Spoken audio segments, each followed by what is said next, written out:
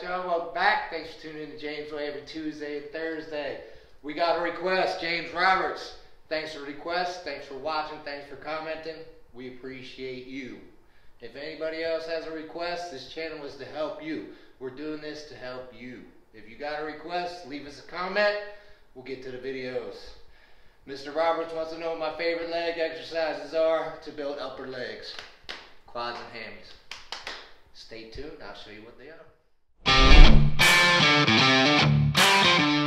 Okay, before we get into favorite leg exercises, we're going to go over squat technique, squat form. I've been in this industry over 25 years. Uh, very few people say it, but the ones that do have been in this industry over 20 years as well. Use your natural range of motion for squats. Don't try to fit somebody else's range of motion, right? Years ago, I went to 90 right here. And then I would come back up. That killed my knees. I mean, my knees would hurt. Ask Camille, I had to do knee wraps. I cut my leg day short, everything. So this is my natural squat form. All the way down, back up. All the way down, back up. The times I was stopping at 90, because everybody says if you go all the way down, you're going to hurt your knees. BS. Stopping at 90 is what hurt my knees. All right, stay tuned. Let's get into the favorite exercises. All right, so my favorite leg exercises. It's kind of a lie because I don't like any leg exercises. I hate them all. I do them because I need legs. Legs win the show. I'm going to show you two supersets that I've been doing the last six or seven months. And I've made more gains on these two supersets than I've made in the last six or seven years of training legs, right? All right, so the first one is leg extension and squats. I know we have a unique setup here where I can do them pretty closely. Hopefully you can in your gym as well. You got leg extensions here. When we're doing leg extension, we got peak contraction at the top. Bring it down nice and slow and smooth, right? All right. You want to use a weight that you cannot get 10 reps on. So get at least six, but you want to fail in between six and 10. As soon as you fail, you can't get it all the way up, get a peak contract, go to your squats. Right to them.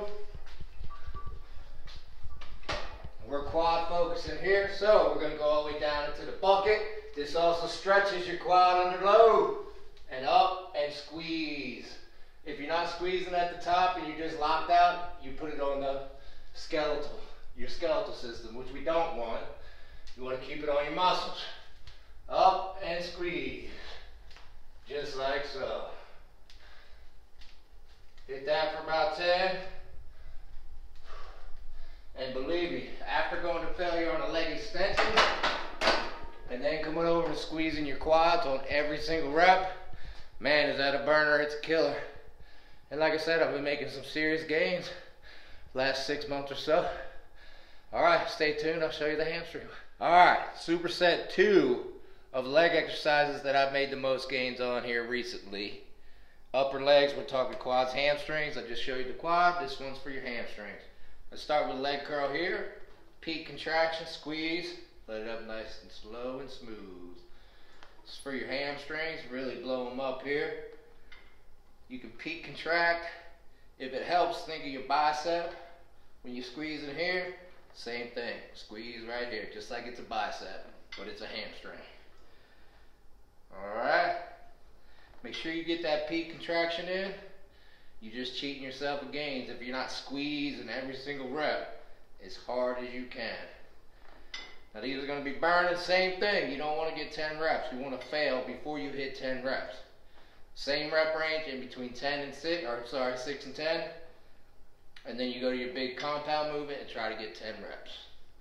All right, so 6 to 10, peak contract, hop up, come over here, hit your deadlifts, like so. When it's light, I like to go down, come up, and then squeeze my butt at the top and hamstrings. All right, just like so. Now when this gets heavy, you're not gonna be able to squeeze anything. Believe me. You just get through the heavy reps.